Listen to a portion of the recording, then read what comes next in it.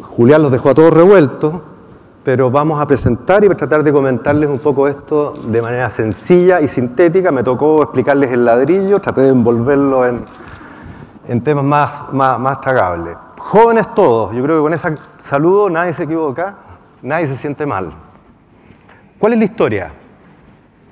Nosotros partimos como asociación muy preocupados siempre, desde hace muchos años, por exactamente producir alguna definición, un poco lo que decía la subsecretaria al principio del, del encuentro, alguna definición que nos permitiera entender no solamente qué es lo que es la clase media en nuestro país, sino que también qué pasa con los otros grupos.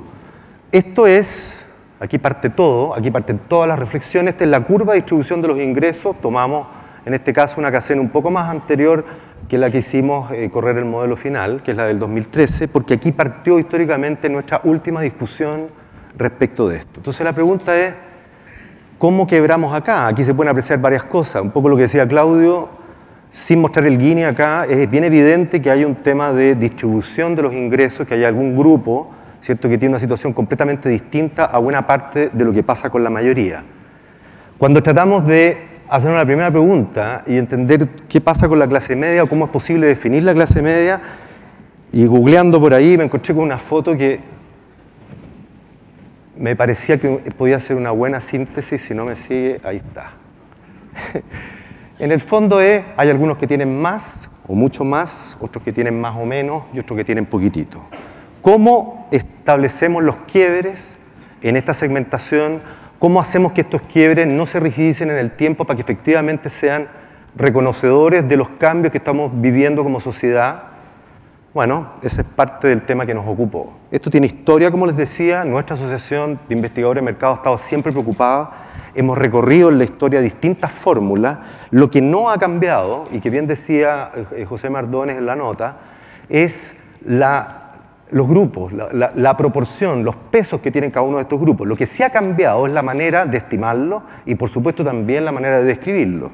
Si hacemos un poquito de historia, nos damos cuenta que hacia los años 80 seguíamos con esta misma eh, clasificación con los segmentos rígidos. Teníamos fundamentalmente encuestas que eran cara a cara, ¿no? nos encontrábamos con la gente en la calle, visitábamos sus hogares para poder levantar este tipo de información el sistema de descripción en esa época era fundamentalmente observacional. Yo me acuerdo de haber leído los primeros manuales cuando entramos al, mundo de la investigación y que eran manuales que describían una casa, una fachada, la forma de hablar que tenían las personas que le contestaban y que eso formaba parte de la clasificación. Bueno, todo esto se fue sofisticando con los años y finalmente cuando ya pasaban las décadas, cambiaban también las técnicas de recolección predominante, empezaron a crecer los call centers en nuestro país. La buena parte de las encuestas, la mayoría todavía, de hecho, hay, hay una gran proporción de encuestas que son telefónicas. Ya no podíamos observar, sino que teníamos que preguntar una serie de cosas para poder hacer nuestras estimaciones y producir siempre bajo el esquema de los grupos de proporciones fijas, una mejor descripción, una, forma, una mejor manera de llegar. Después pasaron cosas como apareció el, método de SOMAR, que estaba basado en solo dos variables que tenían que ver con la ocupación y también eh, con el nivel educacional del principal sostenedor del hogar. Método que funcionaba muy bien en Europa o en países donde el, el Gini era más, más, más bajo, ¿cierto? Donde el sueldo más alto y el sueldo más bajo estaban bastante parecidos, por lo tanto estas dos variables eran bastante predictoras de la capacidad adquisitiva de las personas. Pero en países latinos, donde la distribución es como la que yo les acabo de mostrar, particularmente en Chile, o donde los índices de Gini son altos, más cercanos al punto 5, al punto 6, qué sé yo, hacia el 1, el que es el extremo, este tipo de enfoques costaba, eh, tenía, digamos, algunas falencias en su poder de predicción. Pero vamos evolucionando, los enfoques más recientes han incluido también baterías de bienes para poder estimar, pero todos sabemos eh, que esas baterías de bienes se van, eh, digamos, depreciando, la tecnología se deprecia a una velocidad enorme hoy día y por lo tanto hacer de eso el método de estimación implicaba tener un, método que estuviera en constante revisión eh, y además poco pragmático, poco transparente, poco, poco utilizable por toda la industria. Entonces, lo que ha pasado es que el país en, en el que se originó esta grupos estancos, estos grupos de clasificación rígida, es un país completamente distinto, aquí hay algunas fotos de la época, eh, no están en blanco y negro de adrede, sino que son las que encontramos, digamos, buscando. Ese es el metro nuevo, ¿ah? recién inaugurado. Bueno, país muy distinto al que estamos viviendo hoy día. No, no voy a abundar sobre Chile cambió porque me parece que ya todo el mundo ha abundado demasiado en los últimos foros que he estado. Ahora, tenemos una metodología, nuevamente, de proporciones fijas que hoy día no podría dar cuenta de la movilidad, social o del estancamiento. No podríamos habernos hecho cargo de este titular. Se viene la casa en 2017 y parece mostrar ciertas cosas. Bueno, con la clasificación de grupos rígidos sería imposible mostrar el impacto que esta noticia, que tiene que ver con la realidad, tiene sobre la segmentación socioeconómica. Y hay algo que me parece que es aún más eh, relevante, el tremendo impacto que ha tenido lo que han hecho las mujeres en nuestro país, y esto estoy, tratando, no estoy tratando de ser popular, estoy tratando de, hablar del impacto que efectivamente tiene la incorporación de las mujeres en el mundo laboral y las consecuencias que ha tenido efectivamente en no solamente el engrosamiento de las capas medias en países como el nuestro, sino que también en la estabilidad económica eh, de la clase media, lo que hablaba Claudio al principio, eh, lo que hablaba también la subsecretaria, eh, es, muy relevante. O sea, esa estabilidad se produce aquí con un segundo empleo, que, que de alguna manera es el pilar económico o el pilar económico que ha tenido esta aperrada clase media chilena.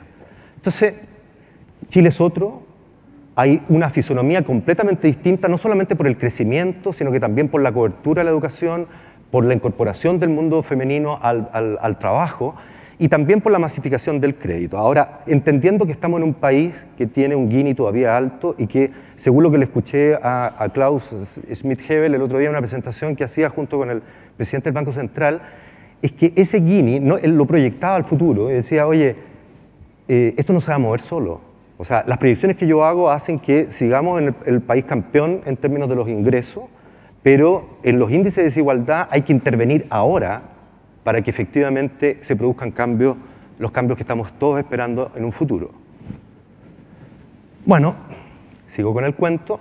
Nosotros el año 2015, a final del año 2015, como asociación, eh, hicimos un planteamiento al mercado, vinimos en este mismo lugar, pero planteamos en ICARE una, una propuesta ¿cierto? al mercado de, una nueva segmentación eh, y que, pequeño detalle, venía, ¿se acuerdan de una campaña que decía eh, Intel Inside? Así como diciendo, si usted tiene este chip, digamos, va a tener una mejor performance independientemente de lo que haga. Bueno, nosotros tuvimos Kaizen Insight dentro de nuestro nuevo modelo, que es parece un pequeño detalle en la presentación, pero estamos hablando de que empezamos a indexar nuestro modelo y, nuestra, y la, manera de ejecutarlo, de estudiarlo, a un instrumento público poderoso, sistemático, y que además, gracias a la ley de transparencia que nos, nos pertenece a todos, por lo tanto podemos seguir utilizándolo cuantas veces queramos.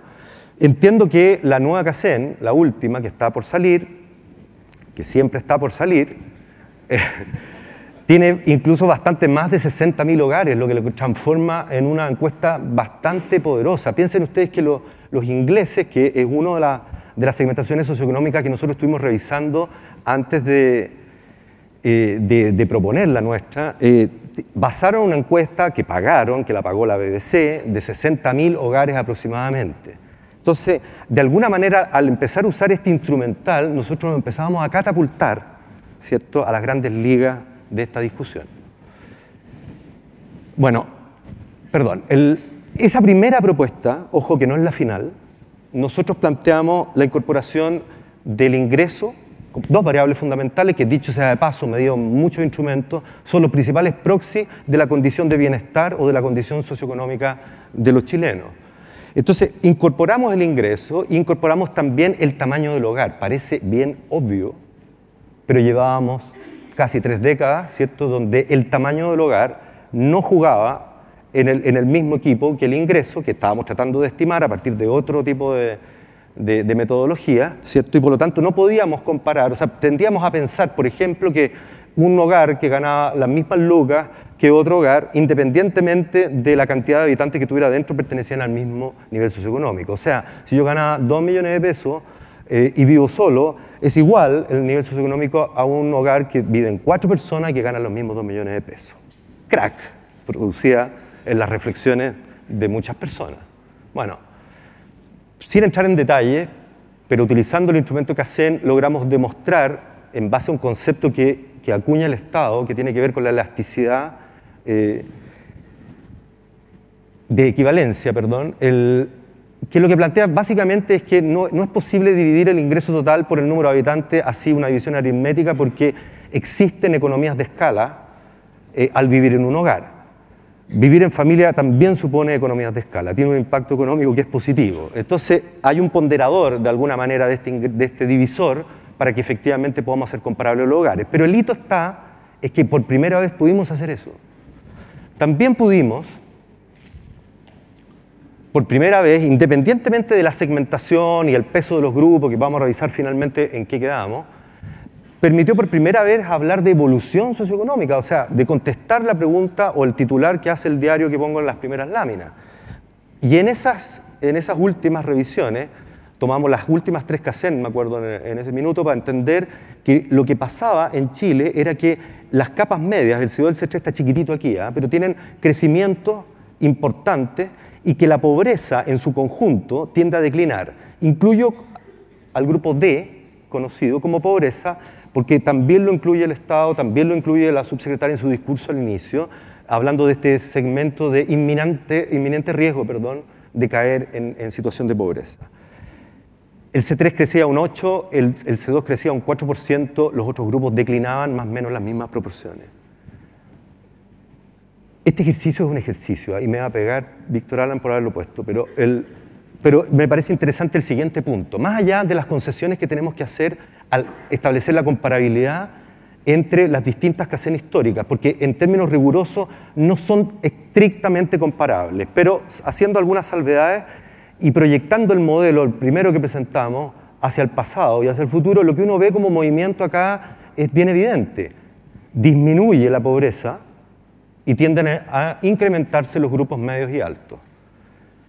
Bueno, quedémonos con eso en la retina más que en los números. También este mismo instrumental, me gusta decirle instrumental porque suena como a cirugía de alta complejidad, eh, este instrumental público potente también nos sirve eh, el cruce que se produce con otras encuestas importantes como la encuesta de presupuestos familiares, que nos permite, por ejemplo, a esta segmentación indexarle el nivel de gasto real que tienen los distintos hogares, los distintos grupos socioeconómicos, eh, a la definición de grupos socioeconómicos.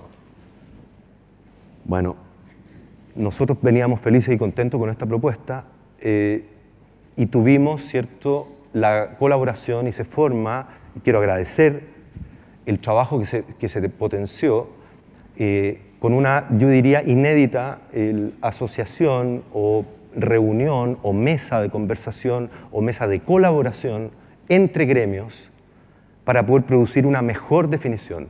Nosotros éramos y tomamos conciencia también de que para que una nueva definición de grupos económicos realmente se instalara en el mercado en su conjunto, esto tenía que ser una colaboración entre las distintas instancias que consumíamos la información que producía eh, los grupos socioeconómicos. Entonces, muchas gracias. Yo sé que las gracias las dio primero Fernando, presidente de ANDA al principio. Yo quiero simplemente reafirmarla y agradecerle particularmente a ese comité técnico que estuvo por cerca de un año sesionando para poder producir una mejor definición. Con todo este proceso nosotros llegamos a plantear hoy día esta propuesta, que es una propuesta ya conjunta, cooperativa, ¿cierto?, respecto de los grupos socioeconómicos. ¿Alguno de ustedes me puede explicar esto? Bueno, voy a, esto es simplemente una forma de, poner en gráfico, en poner en términos de función, lo que es el aporte de la nueva propuesta. A la, a la propuesta original de AIM, que estaba basada en el ingreso per cápita equivalente, se añaden dos variables, producto del trabajo en esta comisión, dos variables que son muy conocidas por nosotros, que es la educación del principal sostenedor del hogar y también la ocupación, el rol laboral. Aquí hay varias consecuencias eh, y quiero tomar el punto aquí con, con, este señor que no es James Bond, se parece mucho a, a, Sean Connery, pero no, no, no, es James Bond. Podríamos decir que es el James Bond de la economía, el de los años donde él vivió. Bueno, la gracia de este caballero es que él encontró una ley y esta ley decía que al aumentar el ingreso de un hogar, siempre disminuye la proporción del gasto destinado a alimentación. De otro modo, el porcentaje de gasto liberado de alimentación es un índice de bienestar. Esta gracia que se mandó James Bond nos sirvió a nosotros para poder relacionar el ingreso per cápita equivalente con las otras dos variables que veníamos a construir. Y en términos pragmáticos, en términos desde las bases, nos sirvió para poder relacionar la encuesta CACEN con la encuesta de presupuestos familiares. Y lo que se hizo fue, bueno, correr el modelo ahí, correr las combinaciones, se combinaron estas dos variables en la encuesta de presupuestos familiares, las llevamos a la CACEN y todas aquellas combinaciones de ocupación, educación, que estaban bajo la línea de la pobreza, nosotros tomamos el trabajo del Estado y lo incorporamos en nuestra definición. El, Estado y sus definiciones de pobreza, pobreza extrema y también de esta pobreza más eh, eh, de amplio espectro, o se me, acuerdo, me olvida el nombre específico que ellos usan, eh, están incorporadas como definición a la base. Nosotros no, la vamos a cuestionar, sino que por sobre los hombros de esa definición vamos a producir la segmentación con el resto de los grupos del mercado. ¿Por qué? Porque tenemos instrumentos en común, porque tenemos una visión metodológica común y por lo tanto tener una sola regla para poder medir eh, nos parece fundamental.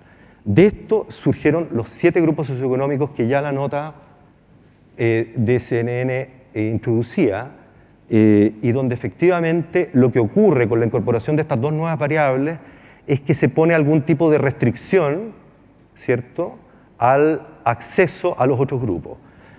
¿Qué quiere decir eso? ¿Qué quiere decir? Que no, no basta el solo ingreso, es decir, si yo tengo una carrera súbita en términos de ingreso económico, me puedo imaginar varias cosas, varias profesiones, donde muy rápido se consigue un salto ¿verdad? De, un, grupo bajo hasta un grupo medio, un grupo medio a un grupo alto, ¿cierto? Las variables de, ocupación y de educación le ponen algún grado de restricción. Vamos despacito, compadre. Esta cuestión requiere de algunas cosas más que simplemente el ingreso. La resultante de la segmentación es esta, que ustedes ya la vieron, pero más que simplemente quedarme en la proporción y los números, lo que me interesa es después producir una reflexión respecto de la clasificación fija o de proporciones fijas que veníamos eh, utilizando y que estamos utilizando aún. No tiene tanto alcance. Como, a todos nosotros nos gusta mirar, ¿no? Y un poco el, juego, el juego de Julián eh, de recién, así se ve cuando uno proyecta esta, segmentación territorialmente, así se ve la clase alta de Santiago, 20%. 20% de clase alta, vamos a entrar inmediato a esa reflexión. Es una termografía o un mapa de calor, o como quieran llamarlo, donde, bueno, yo soy daltónico, me ayudan a ver a lo que no veo, pero entiendo que este es el rojo, ¿no? Y que, y que por lo tanto la mayor concentración del grupo alto eh, se da en estas comunas de la región metropolitana. Cuando pasamos al C1A, que es el segundo segmento después de la B, en la escala socioeconómica, la cosa anda más o menos parecida, ¿cierto? Quizás con algunos pequeños énfasis. Empieza empiezan a bajar de los Barnechea, ¿cierto? Y se empiezan a instalar en otras comunas. Aparece un foco también de C1A por ahí en Peñalolén. Y cuando llegamos al, C1B empiezan a aparecer otros elementos dentro de territoriales, ¿cierto? No solo Peñalolén, sino que se añade por ahí San Miguel en alguna parte, Macul, algo de la Florida, etcétera, etcétera. Hay un polo por aquí en Quilicura. Si mi vista no me engaña, hay algunos por ahí chiquititos en Colina Chicureo, etcétera, etcétera. Así se ve. Así se ve la clase media. Nótese que aquí me salté la talla que como el papelito del, presidente con los mineros y decían no lo cuente de nuevo. Aquí yo tiraba una talla que tenía que ver con, el, con la bomba. ¿no? no la voy a hacer, mi socio Marco me dijo que no la hiciera, pero se me ocurrió otra talla que tiene que ver con el avión. Yo, esto es como meter a, todo, a toda la empresa dentro del mismo avión de viaje, ¿no? el riesgo es alto. Aquí podía explotar algo y nos vamos todos los ABC1, porque aquí la gran mayoría, a pesar de que nos sentimos de clase media, estamos en otra condición. Esta es la clase media típica alojada en las distintas eh, comunas y la clase baja de Santiago, donde incluimos al grupo D, cómo se va yendo hacia los extremos de la ciudad y empieza también, entendiendo que hay algunos focos particulares que se empiezan a apreciar en los rojos más intensos, empieza a diseminar hacia la periferia de nuestra ciudad.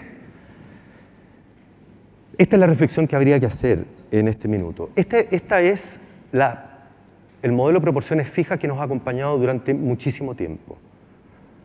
Y con esto los dardos críticos apuntan fundamentalmente a eso, a lo fijo que son estas proporciones, no dando cuenta de los vaivenes. Recién yo les mostraba en este ejercicio que venía de los años 80 hasta, hasta los años 2000, el cómo la evolución chilena, y también lo mostraba la subsecretaria al, al inicio, cómo la evolución chilena era desde la disminución de la pobreza al levantamiento de las capas medias y las capas medias altas. Esta, esta definición de proporciones fijas no nos servía no nos sirve para seguir mirando los movimientos de la distribución del ingreso de los chilenos. El contraste de hoy con el nuevo modelo es este. El primero más notorio y más llamativo no se produce en la clase media, se produce en los grupos altos, que tiene toda lógica en un país que se desarrolla en los términos que los ha planteado eh, Claudio al principio. Eh, es bastante notorio y visible, uno lo ve en las calles, como dice la gente por acá, que este crecimiento existe. Lo otro que llama la atención también, positivamente, es la gran diversidad que estamos enfrentados acá cuando hablamos de, clase media. Ya no se resiste más este concepto del ABC1 como una sola cosa. O sea, hoy día lo podemos probar, hoy día lo podemos hacer propuesta, ¿cierto?, de desarrollo para el mercado. Pero esto está en la boca nuestra, en la boca de ustedes desde hace mucho tiempo.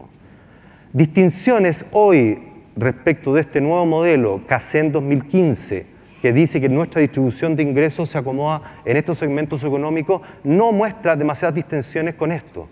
Pero probablemente esto, que nos ha acompañado durante casi 30 años, en algún momento pasado fue un tremendo error. Cuando teníamos niveles de pobreza cercanos al 40% en la población, no hace muchos años atrás, hablar de un 10% de, de pobreza era relativamente absurdo. Bueno, solo para decir que esta idea de cambiar el concepto de proporciones fijas e indexarnos a la realidad del país es una motivación que también tiene 30 años en nuestra asociación. Hoy día lo logramos, las ventajas están a la vista. O sea, esta nueva segmentación nos da cuenta de, de Chile finalmente, incluso más, creo que la CACEN nueva, podrá corregirlo alguien por ahí, viene incluso con más casos, cerca de 80.000 hogares. Eso quiere decir que nosotros no solamente eh, podemos hablar a nivel nacional a nivel regional, que eso ya está descontado con las casenas anteriores, pero también vamos a empezar a tener información de cada una de las comunas de nuestro país. Eso es muy potente. Por otro lado, somos sensibles a los cambios, estas estadísticas públicas se actualizan casi en dos años, tres años, entiendo hoy día, la encuesta de presupuestos familiares. Además, es un estándar que va a ser aplicable a todas las empresas que forman parte de la, de la Asociación de Investigadores. Es práctica, requiere pocas preguntas, no inunda los cuestionarios que están hechos para que los clientes, para que el mercado haga las preguntas que necesita hacerle a la gente. Y además, y creo yo, el valor tremendo está en el nivel de precisión, en el nivel de segmentación que esta segmentación produce. Y por supuesto, en, esta era, en la era que ya es bien evidente, ¿no? de, la, integración de las datas, donde las fuentes de conocimiento diversas para poder entender el mismo fenómeno son muy potentes, donde la opinión de las personas ya no basta para poder tener un mejor reflejo de las estimaciones que queremos hacer como eh, potenciales oferentes en el mercado, es clave que tener una una única herramienta de medición que finalmente haga comparable a estudios y fuentes. Eso es lo que como asociación de investigadores de mercado pretendemos que sean uno de nuestros sellos. Vean esto y se los voy a ir explicando. Este, este video es una filmación de 10 horas condensada en 30 segundos donde el trabajo está en ir identificando cada uno de los puntitos que ustedes ven moviéndose ahí en el mapa son manzanas censales, donde se las ha teñido con un GSD predominante para, efectos didácticos, para efectos de que podamos mirarlo hoy día nosotros acá, pero, que, pero en estricto rigor lo que, lo que se puede hacer hoy día es llegar a, las manzanas censales con su distribución. socioeconómica eh, real. Lo que ven ustedes acá en, estos indicadores gráficos acá, por ejemplo, dice AB 432, son 432 manzanas predominantemente AB en la ciudad de Santiago, el Gran Santiago. Dos mil y tantas en el C1A, tres mil y tantas en el C1B, tres mil y tantas manzanas de C1B, y así con el C3, el D y el E. Pero solamente para mostrarles un pequeño dato, y lo que ustedes ven aquí como gráficos de barras titilantes, titilantes son porque cada movimiento implica el ingreso de una manzana en, la, cartografía digital, es el consumo de bebestibles alcohólicos eh, de los chilenos. A propósito que ya estamos cerca de mediodía. para el aperitivo, digo yo. este es cerveza y este es vino que son evidentemente los licores o, los bebestibles alcohólicos que más consumimos los, chilenos. Y cada movimiento tiene que ver con los grupos socioeconómicos y también con su georreferenciación. Ahora, ¿qué es lo que hay detrás de, qué es lo que hay debajo de todo esto? Está la CACEN, está el censo, está la cartografía digital chilena, está la encuesta de presupuestos familiares que nos permite describir este tipo de realidades con mayor precisión.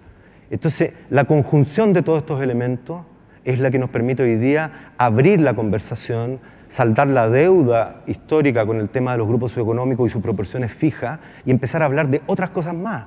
En esta era ya es posible multiplicar por infinito la cantidad de descriptores que podemos hacer de nuestros grupos socioeconómicos. La clasificación es solo el inicio, es solo el marco, lo que viene después es el enriquecimiento con todo lo que ustedes hacen, con todo lo que nosotros hacemos, con la data que generamos en nuestras propias compañías, con la data pública respecto de los hábitos, con la data pública respecto de los estilos de vida. Todo eso cabe dentro de esta gran definición. Y para ir cerrando, hay que contestar la pregunta del foro. ¿no? se pregunta al inicio del foro si Chile es o no un país de clase media. Y hay dos respuestas. La primera es es que probablemente en un pasado reciente no lo éramos predominantemente, eh, desde el punto de vista numérico, desde el punto de vista estadístico, independientemente, como decía Alejandra al principio, de cómo eso se estime o se calcule. Pero lo que sí es claro es que cada vez más sí somos un país de clase media. Y lo que proyectamos en un futuro reciente es evidentemente una gran predominancia. La clase media está en los alrededores del 43, 45%, podemos discutir si lo corremos un poquito más acá o un poquito más allá, pero evidentemente el camino es uno.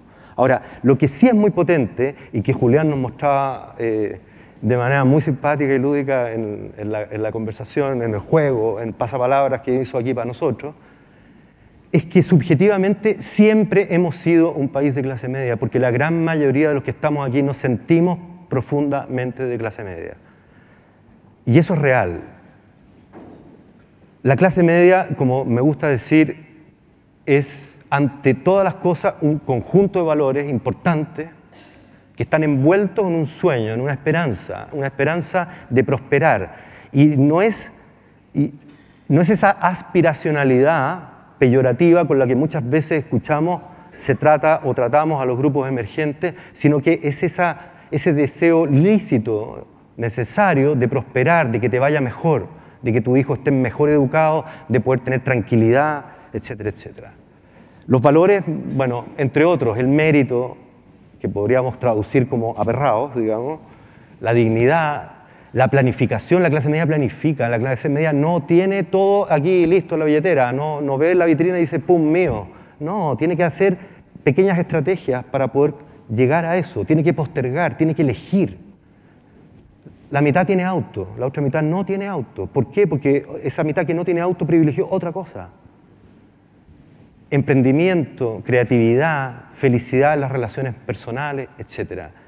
Clase media no es solamente un grupo en crecimiento, no solamente es una marca por la cual hay que apostar, no solamente es un buen claim, sino que también clase media es un grupo de personas que siente que con su propio esfuerzo ese esfuerzo de todos los días, ojalá ayudado de aquí para adelante, ¿no? un poco lo que comentaban en las presentaciones anteriores, eh, puede lograr algo importante en nuestra sociedad.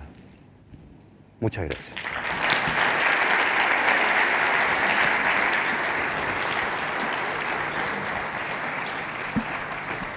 Muchísimas gracias, Andrés Varas. Em, presidente de la Asociación de Investigadores de Mercado. Te quiero hacer una pregunta, no te vas a ir tan rápido pregunta, de acá. Pregunta, pregunta.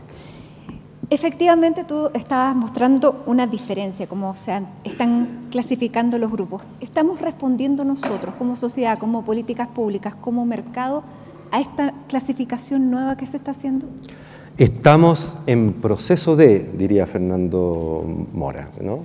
Estamos hoy día, más que pretendiendo, a pesar de que hemos hecho un trabajo histórico y largo, y no, en soledad, sino que con, con, este trabajo cooperativo que yo creo que es la dosis de que necesitamos para adelante para poder innovar, estamos planteando un camino y la respuesta está ahí, ¿cierto? El, el, la comunidad de las comunicaciones comerciales, la comunidad del marketing y la publicidad, eh, la comunidad de los mercados tendrá que hacer cosas para que efectivamente podamos implementar y tener una uniformidad respecto de esto. Estamos en varias conversaciones multisectoriales para poder bajar estas definiciones a la aplicación de realidad. Entonces, hoy día se abre un nuevo hito y yo creo que ese nuevo hito tiene que ver con la implementación, Matilde. y esa implementación muchos la están desarrollando, hay otros sectores en los cuales hay que insistir. Muy bien, Andrés, muchísimas gracias. La pelota está aquí entonces. Ahí está la pelota. Ahí está la pelota. Y ahora sí, y viene al papel para que nada, ninguna